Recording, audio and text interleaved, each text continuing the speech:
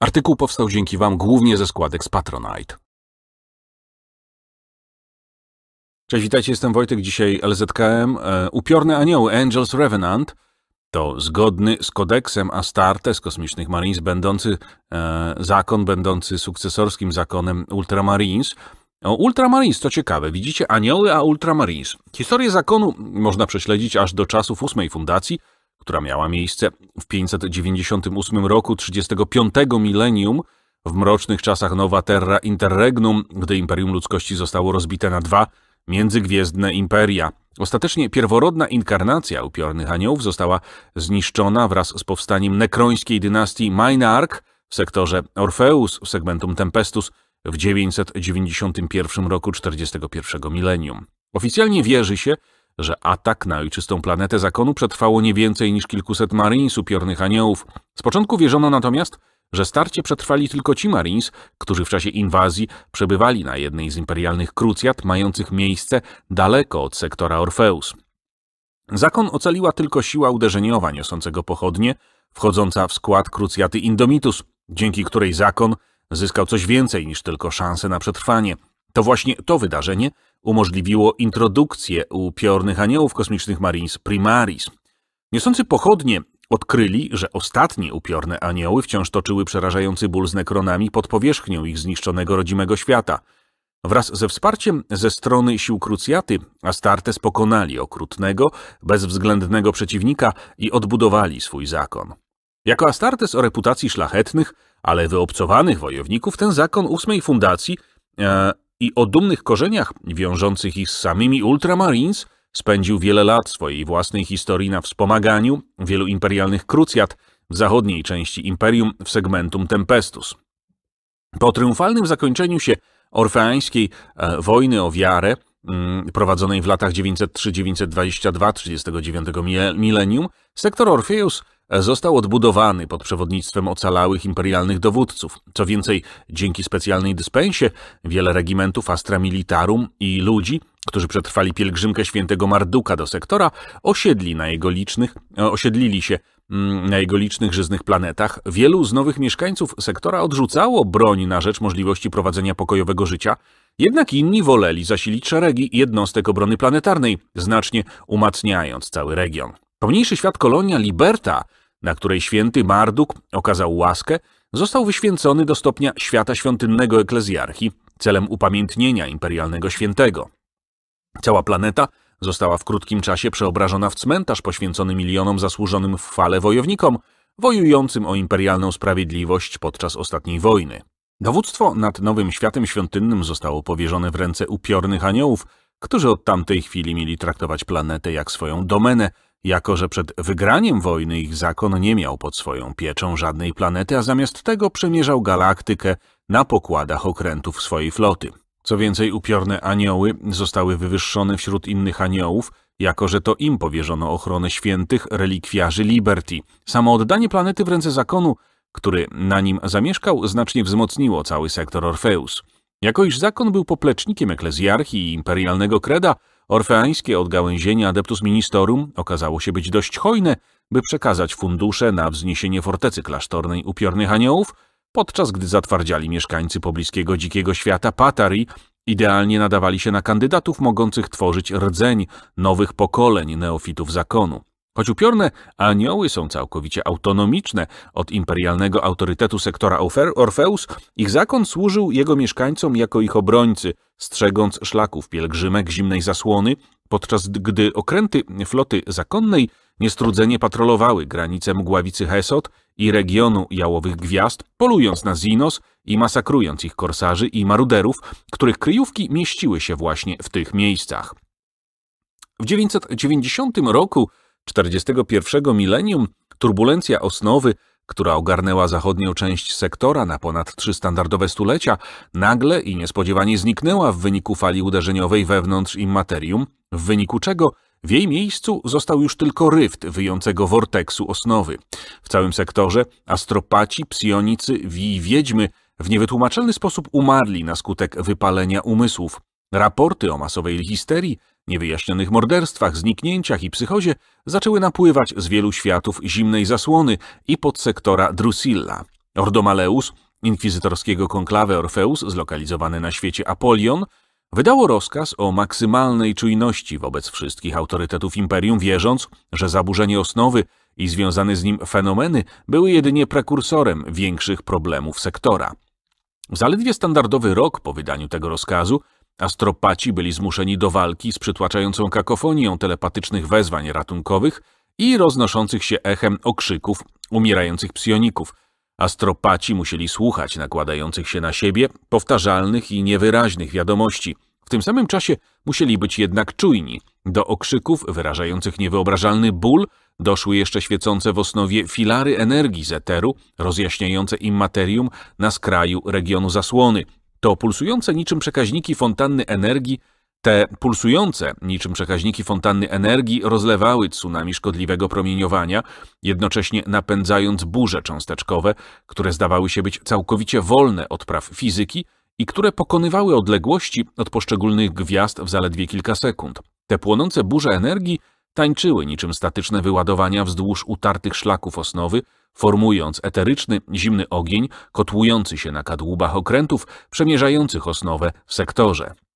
Kipiąca elektromagnetyczna zaraza, którą okręty sprowadziły ze sobą do rzeczywistości, zaatakowała ich kanały Vox i rozprzestrzeniła się, blokując sieci komunikacyjne w całym regionie i przepuszczając niemal wyłącznie agonalne okrzyki przerażenia. Oprócz budzących grozę krzyków na kanałach Voxu udało się rozróżnić jedno, powtarzane raz po raz zdanie Majnark nadchodzi. Te słowa były zwiastunem spustoszenia, jakie czekało każde miejsce, w którym odebrano ów wiadomość. Wszelkie maszyny w obrębie odbiorników Voxu zwyczajnie odmawiały posłuszeństwa. Serwitory popadały w szaleństwo, a kogitatory blokowały wszystkie swoje funkcje. Ich duchy maszyny zdawały się być duszone i dławione. Tym razem jednak prawdziwa natura zagrożenia była nieznana. Imperialni oficjele nie mieli żadnych wskazówek co do oblicza wroga, przed którym będą musieli stanąć. Wiadomości astropatów, wysyłane na światy graniczne, nigdy tam nie docierały, próżno było więc oczekiwać odpowiedzi. Podobnie było z okrętami. Wszelkie statki, które próbowały przebić się przez linię kosmicznego mroku, rozciągającego się przez cały sektor, przypominając łuk napięty między światami Tlalok a Epirus, zwyczajnie nigdy nie dotarły do celu, a słuch o nich zaginął. Mimo wszystko, być może najbardziej niepokojącym sygnałem nadciągającego zła była cisza, która zapanowała na Libercie, rodzimej planecie zakonu upiornych aniołów.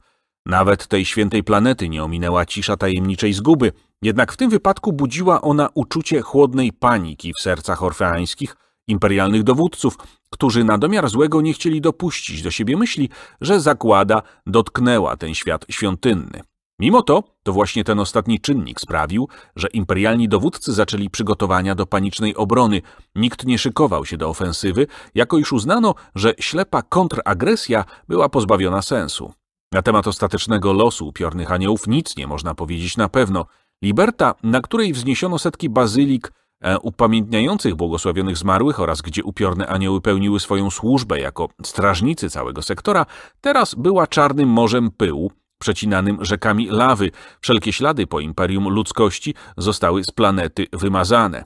Wszelkie dane na temat ostatnich godzin istnienia zakonu są bardzo fragmentaryczne, ale sugerują, że Astartes walczyli do ostatniej kropli krwi przeciwko przeważającym siłom wroga. W całym układzie można było znaleźć radioaktywne ślady walki w próżni, a co więcej, na powierzchni zniszczonego świata wciąż można było zobaczyć wraki zniszczonych maszyn. Co więcej, Starożytny kadłub przynajmniej jednego ogromnego okrętu grobowego nekronów, podobnego do tych, które później zostały zauważone nad Amarach w czasie wojny orfeańskiej przeciwko nekronom z dynastii Mainark, nosił na sobie ślady ostrzału z broni, która znajdowała się wyłącznie na wyposażeniu Adeptus Astartes. Chodzi tu głównie o działa bombardujące, z których, jak wykazała ekspertyza, wystrzelono z ekstremalnie bliskiej odległości. W rzeczy samej Wiele wskazuje na to, że opór, z którym upiorne anioły stawiły czoła nekrońskim najeźdźcom, był tak wielki, że sama powierzchnia Liberty została zniszczona w ogniu bitwy, dając ujście płynnemu jądru planety. Gdy wieści o męczeństwie zakonu dotarły do synodu Tempestus Ecclesiarchi, wydano dekret o dniu żałoby w całym segmentum. W jednej chwili na tysiącach planet całego segmentum Tempestus zabiły dzwony, oddając hołd przejściu do wieczności upiornych aniołów. Szacowano, że tego starcia nie przetrwało więcej niż kilkuset Astartes, na których składali się wyłącznie ci wojownicy, którzy w chwili inwazji Nekronów akurat pełnili służbę daleko od domu. W czasie ery Indomitus, po narodzinach Wielkiego Ryftu, krucjata Indomitus wysłała na Libertę siłę uderzeniową, niosących pochodnie. Ich misją było zlokalizowanie ocalałych upiornych aniołów. Kiedy tylko siła uderzeniowa przybyła na planetę, z początku jej żołnierzom wydawało się, że zakon jest już dawno wymarły, wobec czego nowym zadaniem siły uderzeniowej było odbudowanie go od podstaw. Liberta została zniszczona i zalana lawą ze swojego gorącego jądra przez nekronów, którzy w ten sposób chcieli poradzić sobie z kosmicznymi Marines. Co więcej, po braciach bitewnych, którzy wyruszyli w galaktykę, by walczyć z Imperium, za Imperium, nie z Imperium, walczyć za Imperium, nie było śladu. Jednak nawet wówczas, gdy siły niosących pochodnie wylądowały na zniszczonej, pozbawionej atmosfery powierzchni świata i przygotowywały się do oficjalnego ogłoszenia, że zakon przestał istnieć, auspeksy i kanały Vox wypełniły słabe sygnały zażartej walki, mającej miejsce gdzieś pod powierzchnią planety. Później, jak mówią legendy, doszło do bitwy o martwą Libertę między Nekronami a Sojuszem niosących pochodnie i ocalałych, pałających rządzą zemsty upiornych aniołów. Zakon odrodził się w ogniu wojny. Po bitwie jego szeregi zostały odbudowane przez dar prymarchy, genetyczną technologię oraz przez genetorów Adeptus Mechanicus, którzy stworzyli kosmicznych Marines Primaris, przygotowanych do walki o przetrwanie ludzkości w nowej erze dla aniołów z Liberty. Jakie były słynne wydarzenia? Krucjata Mrocznych Bagien, lata 610-759, 36 milenium. W obliczu epoki apostazji, segmentum Tempestus doczekało się okresu wzmocnienia swoich wpływów w imperium i renesansu własnej ekspansji. Ten okres historii segmentum przez historyków jest nazywany wzrastającą burzą – Dzięki błogosławieństwu Terry oficjele segmentum Tempestus byli w stanie zorganizować liczne krucjaty i kampanie, mające na celu zniszczenie zagrożeń czających się w jego granicach, poszerzając i fortyfikując granice imperium. Najsłynniejszym triumfem z tamtego okresu okazała się krucjata Mrocznych Bagien, którą przewodził, której przewodził Lord Tempestus Hal Orpheus, będący spadkobiercą głównej linii rodu wolnych handlarzy, którzy po raz pierwszy zbadali pełnem roku granice całego przyszłego sektora Orfeus – Całe tysiące lat wcześniej upiorne anioły poświęciły celom krucjaty cztery pełne kompanie Astartes.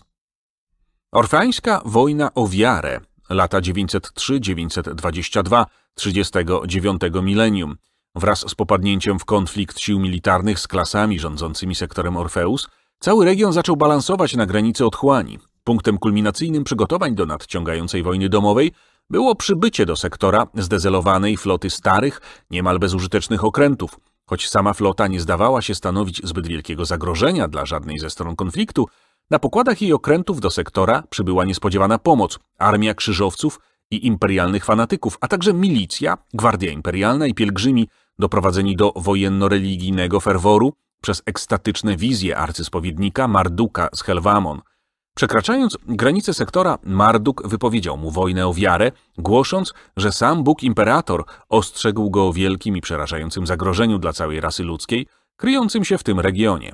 Następne posiłki przybyły do sektora w postaci zakonu upiornych aniołów kosmicznych Marines, adepta Sororitas z zakonu wojującego serca i czarnego grobowca oraz siły zadaniowej Ordomaleus wzmocniły sprawę imperium. Imperialne siły mogły także liczyć na poparcie niezliczonych ochotników spośród populacji światów niedotkniętych konfliktem, których urzekły religijne przemowy Marduka. Tak doszło do orfeańskiej wojny o wiarę, zażartego konfliktu, który miał trwać przez niemal 20 standardowych lat oraz w wyniku którego populacja sektora zmniejszyła się o jedną piątą, jednocześnie upośledzając, trwale raniąc i kalecząc o wiele więcej obywateli. Zguba świętego Marduka, to jest rok 921, 39 milenium, pomimo zwycięstwa Imperium w orfańskiej wojnie o wiarę i zdobyciu niemal wszystkich najważniejszych światów przejętych przez zdrajców, jedną z planet nadal władali zdrajcy, była to twierdza chaosu Kolast. Ten świat Rój został ufortyfikowany i zepsuty do poziomu żywego piekła, a jego populacja została wykorzystana jako surowiec przez kowali osnowy, handlarzy śmiercią, tworząc broń stworzoną z ludzkiej tkanki. Z ocalałych mieszkańców stworzono legiony mięsa armatniego, których zadaniem było bronienie cennej zdobyczy sił chaosu. Pomimo nieustannej presji ze strony sił arcyspowiednika Marduka, siły Imperium nie były w stanie odbić planety. Z ostatnich sygnałów wysłanych ze strefy wojny wiadomo, że siły Marduka zostały posłane przodem, by zetrzeć na proch pełnych furii, spaczonych mocą osnowy obrońców Kolkast, wiarą i ogniem. Faktem jest to, że jego siły dokonały triumfalnych, licznych desantów na powierzchnię planety, jednak wtedy astropatyczna łączność z oblegającą świat imperialną flotą została na chwilę zerwana. Podniesiono alarm, krążownik uderzeniowy upiornych aniołów Intercessor był pierwszą jednostką, która odpowiedziała na wezwanie. Okręt nie był wówczas w najlepszym stanie. W chwili translokacji do układu został zaatakowany przez dwa mniejsze, ale ekstremalnie potężne okręty o nieznanym, zakłada się, że należały do Zinos, pochodzeniu, które dopiero później zidentyfikowano jako jednostki Nekronów. Okręt kosmicznych Marines został uszkodzony, nim sam zniszczył jednego z napastników i przepędził drugiego. Jednostki stacjonujące w pobliżu intercesora były świadkiem wielkiej bitwy w wewnętrznej części układu, jednak same nie były w stanie interweniować. Do czasu, gdy imperialna flota się, zbliżyła się do Kolkas, nieznani Zinos rozpierzchli się, zostawiając za sobą pole wraków dryfujących po orbicie świata. Jej fortece i miasta zostały zrównane z ziemią, a sama jego powierzchnia została pokryta nieziemskim, radioaktywnym płomieniem. Na powierzchni planety wciąż znajdowali się jednak ludzie. Ci, którzy nosili na sobie symbole chaosu i zdrady, zostali wytępieni przez upiorne anioły, podczas gdy ci, którzy w ostatnich godzinach stoczyli bój za imperatora, ranni i często ogarnięci szokiem, otrzymali pomoc bądź doprowadzono ich do zbawienia, nim ostatnia zima z czarnego pyłu ogarnęła planetę. Od tamtej pory Kolhast e, nazwano zgubą świętego Marduka, jako że sam arcyspowiednik został męczennikiem tej bitwy. W krótkim czasie eklezjarchia beatyfikowała go i wyświęciła na imperialnego świętego przed świętym synodem.